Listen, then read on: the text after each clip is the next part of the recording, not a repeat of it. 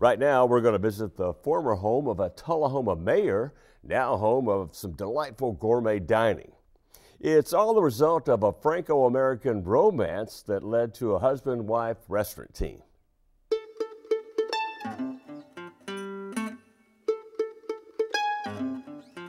If you traveled through Tullahoma several decades ago, locals would point out this early 1900s house as the home of the city's longtime mayor, now designated as a local landmark. Pinot Noir. Thank you very much. You're welcome. Since 2001, this house has been the home of Emil's, a unique dining adventure here in Tullahoma that's attracting adventurous diners from well beyond the city limits.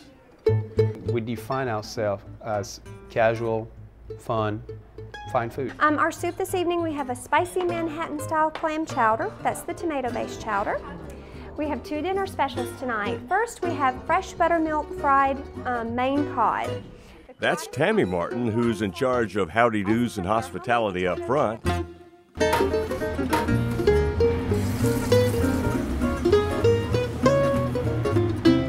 Grilled barbecued salmon with white cheddar cheese grits and fried spinach. That's her French born hubby George, who's in charge of culinary duties in the frantic kitchen out back. They met in the restaurant business years ago in Atlanta. They found the home of their dream dining establishment years ago here in her hometown. So I actually approached the owner sitting on the front porch and they acknowledged that yes, the house was for sale. And I asked if we could see it, and they said now was great for them. So I came in and looked at it and knew immediately and called George on my cell phone because he was still in Atlanta and said, I found the perfect place. And he was up that weekend and we signed a contract. And so it was absolutely meant to be that we be here. Since George was raised in a family of chefs, the French influence is unmistakable. But make no mistake, Emil's is not a French restaurant. In all honesty, if we had been a French restaurant from the get-go, we wouldn't be here today. Mm-hmm. It had to be food that people can relate to, but gradually with time, we've have brought you know new things like couscous and fava beans, but yet keeping in mind that this is Tullahoma, Tennessee. This is not culture shock. We don't want people to be afraid of us. We don't want to be stereotyped as a French restaurant. No chance with popular appetizers like fried green tomatoes Neapolitan. Yet one of George's secrets is his knack for getting fresh fish. And that's a grouper special for the evening. In the case of the popular rainbow trout, the fish is as fresh as a farm down the road. Ready for your trout? 12. 12 butterfly trout, ready to go. See you next Thank week. you. Thanks. Also, George believes in keeping the menu fresh. It keeps the customers fascinated as well as the chef. If you become in a routine with your food, if you're going to keep the same menu forever, you're going to become slack and you lose purpose. And to me, food has to make sense. It has to be fun, but it has to make sense. And I think that we do a pretty good job with that. And he also does a wonderful job of taking advantage of foods in season. You know, not only are they fresher and better, but you know, we are a business and economically it's better to use um, produce and fruits when they're in season rather than trying to use them out of season. Good food is never out of season here, and the customers we surveyed seem to echo the same sentiment that Emil's offers a special touch of casual class here in Tullahoma. French on one end and Southern Tennessee on the other end, which is pretty difficult for a Frenchman, I would say. You know? And you couple his food with uh, Tammy's service, it's pretty tough to beat.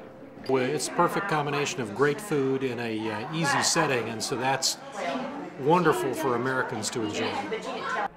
Now, for me, the big challenge was making a choice from the eclectic menu here. So I narrowed it down to beef tips, some prime rib, and well, I couldn't pass up the grouper. This ought to do it. I had a pretty big lunch.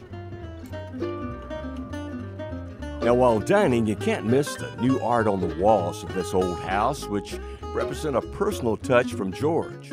They are all menus from Europe, mostly from France, but some menus from, from Denmark, some really older menus from the 60s, and a lot of fine prints, tapestry prints on the menu covers. Menu covers in France sometimes are pretty much, you know, piece of art by themselves.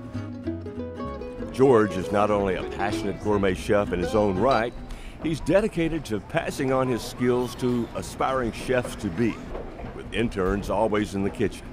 Because once you're a chef, a lot of guys seem to forget everything they've learned, but you have to keep giving.